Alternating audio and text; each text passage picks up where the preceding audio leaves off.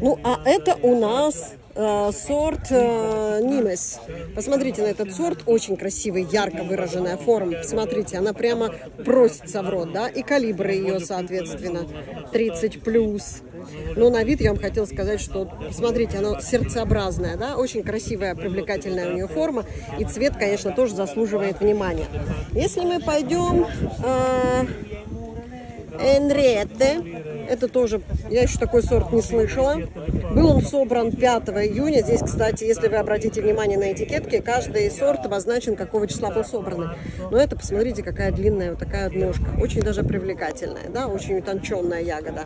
И по сравнению с Наймс, посмотрите, да, чтобы вы понимали разницу, это немножко вытянуто, а это немножко укороченное. Посмотрите какая разница, да?